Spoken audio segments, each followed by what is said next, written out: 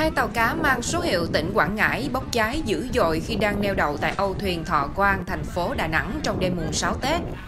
Theo đó, lúc 21 giờ 36 phút ngày 27 tháng 1,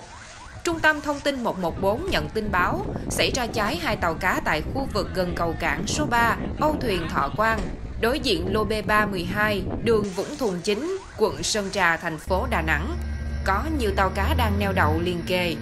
Ngay lập tức, các lực lượng cảnh sát phòng cháy chữa cháy và cứu nạn cứu hộ công an thành phố Đà Nẵng điều động lực lượng phương tiện đến hiện trường, phối hợp với đồn biên phòng Sơn Trà và ban quản lý Âu thuyền và cảng cá Thọ Quang tổ chức chặt dây neo và lai dắt tàu cháy vào khu vực đường Vũng Thùng chính để tiến hành chữa cháy. Ngọn lửa đã thiêu rụi toàn bộ cabin hai tàu và cháy xém một tàu. Đến 0 giờ 15 phút ngày 28 tháng 1, đám cháy đã được dập tắt hoàn toàn bảo vệ thành công khoảng 60 chiếc tàu neo đậu liền kề, ước tính tài sản khoảng hơn 100 tỷ đồng của bà con ngư dân. Đám cháy không gây thiệt hại về người, nguyên nhân xảy ra cháy đang được điều tra làm rõ.